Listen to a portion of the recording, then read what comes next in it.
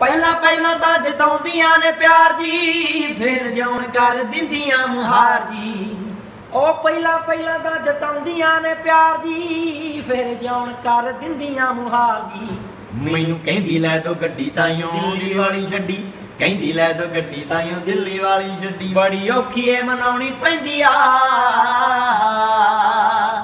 ਚੰਡੀਗੜ੍ਹ ਵਾਲੀ ਸੈਲੀ ਰੁੱਸ ਜੇ ਉਹਨੂੰ ਫਿਲਮ ਵਿਖਾਉਣੀ ਪੈਂਦੀ ਆ। ਰੁੱਸ ਜੇ ਅੰਬਰਸਰ ਵਾਲੀ ਜੇ ਉਹਨੂੰ ਸ਼ੋਪਿੰਗ ਕਰਾਉਣੀ ਪੈਂਦੀ ਆ।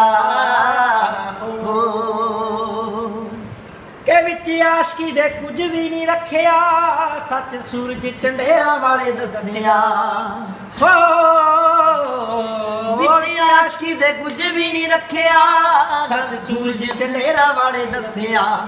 ਜਿਹੜਾ ਆਸ਼ਕੀ ਤੋਂ ਦੂਰ ਕੁਝ ਬਣਦਾ ਜ਼ਰੂਰ ਆਸ਼ਕੀ ਤੋਂ ਦੂਰ ਕੁਝ ਬਣਦਾ ਜ਼ਰੂਰ, ਗੱਲ ਬਾਵੇ ਤੋਂ ਗਵਾਉਣੀ ਪੈਂਦੀ ਆ।